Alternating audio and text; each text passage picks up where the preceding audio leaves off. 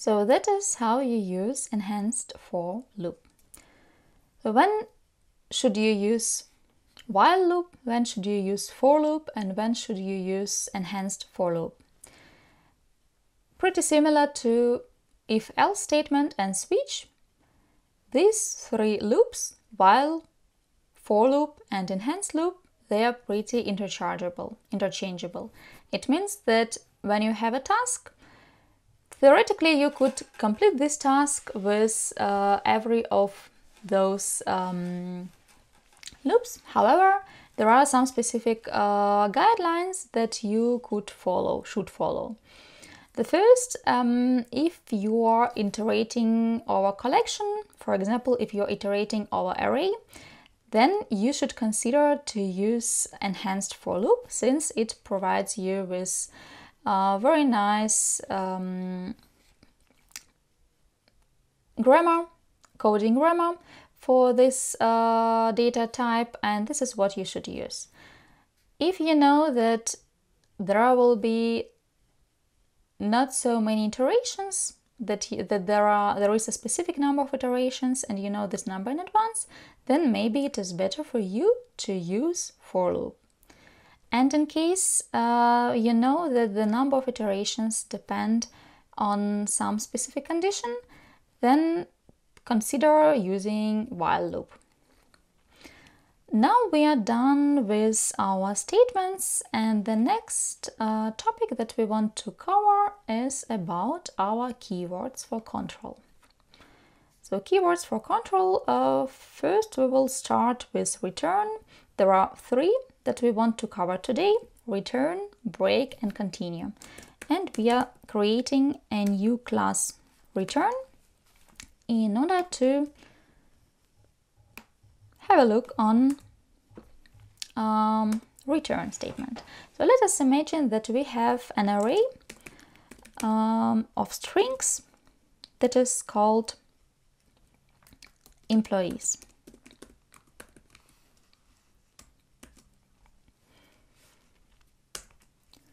And now we will write a method so the method, um, till now we were using mainly the main method.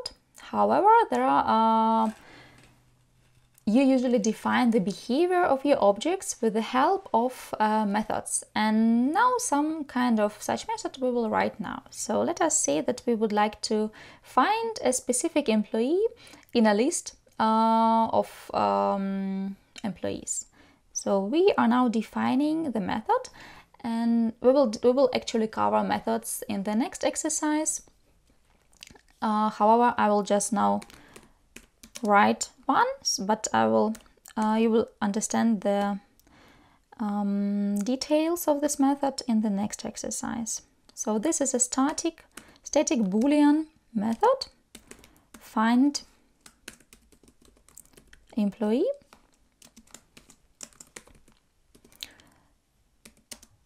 that returns string employee ID. And we're putting our method inside of the brackets. And now we will loop over our array. So for string, uh, let us give the name emp for our instance in our array employees.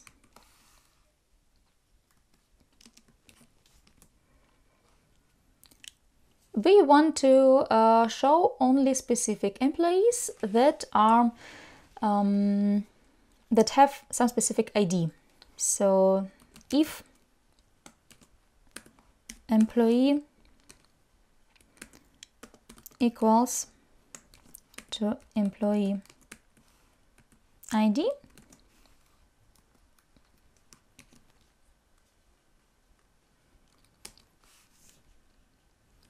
Only in this case we want to return true.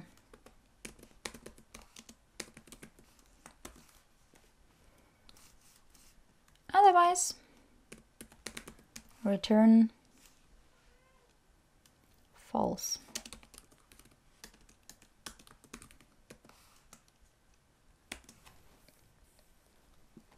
So we have here some errors and ah yeah, of course. So actually the reason is that we are now writing method and we cannot, of course, we cannot put this method inside of main method. So we need to take it out. And this return should be actually here. Employees. No, now it's correct. So what do we have now? We have now first, we have now variable, and then we have a method. The methods can be of two types. First type is when the method returns a value, and another method is the method that uh, doesn't return any value, that is void. Um, in our case, we have a method that returns a value. That's why we are specifying that this method is of boolean type here.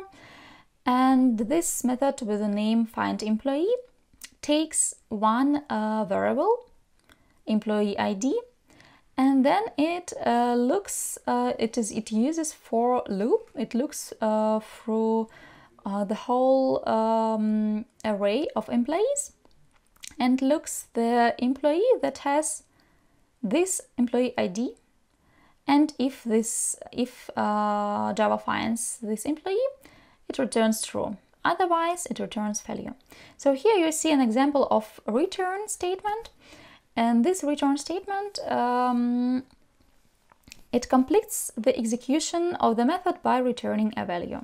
So in this case, if, if it is true, then the return statement will return you the value of this um, employee that was found. No, actually it's not. Uh, it will return here the boolean value so that will be true or false. Um, so this return keyword, um, this is so to say hard stop of the method since uh, doesn't matter what comes next, this uh, part of the code will be uh, stopped and the execution will be stopped as well. Another option uh, for interruption of the code, but in a bit soft uh, way, is break statement. We will create now a class that is called break without any main method because we will write now main method uh, the method uh, by ourselves. So the um, here let us say that we have the same uh, static string array string of array of strings that is uh, that's name is employee. And we have static void method now. So the method that doesn't return any value static void find employee. And this method takes one parameter that is called employee ID and it, uh, it uh, concatenates a string. My assigns it to my string variable. That is employee id plus was not found.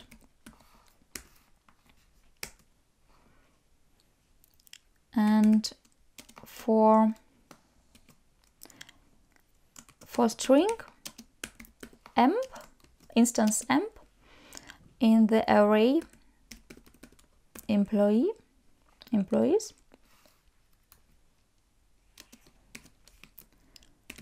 if our emp equals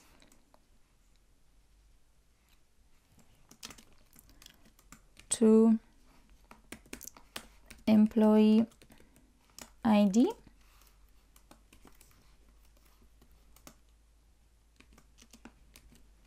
then we want to concatenate to uh, receive another string my string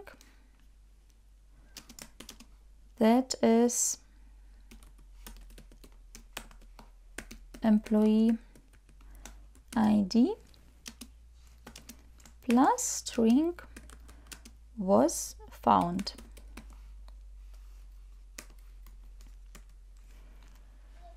And afterwards break.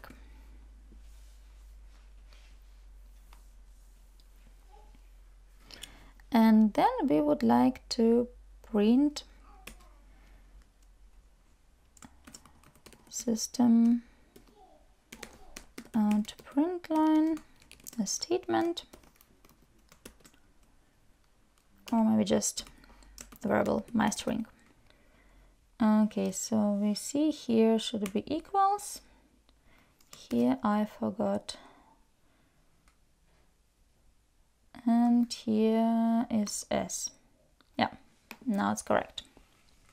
So you see how Eclipse helps you to notice um, mistakes, misspellings. So see, you see here you see how break statement soft interrupts your code. Only here in this specific part of code. And then the execution continues from the next um, from the next section. So it means that when this break statement um, will be executed, then the program will switch to this part of the code. So if we would apply here, for example, somewhere here return, then uh, nothing that is uh, followed by return will be ex executed. So we are talking now about method. So this is the method and we see how the method uh, is separated uh, by curly braces. So break statement allows you to break only specific block of code, in this case this if block, if statement, and we are coming uh, further to the next statement that will be executed. And the last keyword is continue. So this keyword um, introduces the softest interruption of the code. So now I will just open the ready code and we will have a look on it. So you will see here some errors, but this is because we didn't define a class for this object. Um, however, this is not a goal of this um, exercise. So what is important to know here that is that we have here employee object that is here and we have a method void that doesn't returns doesn't return any value and we have here inside one for loop and one if loop.